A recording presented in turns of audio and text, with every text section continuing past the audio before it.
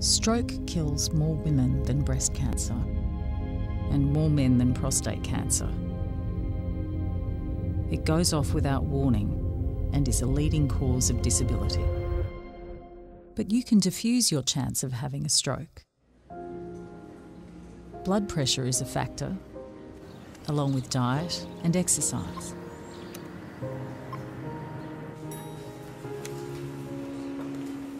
Small changes in your life can make a big difference.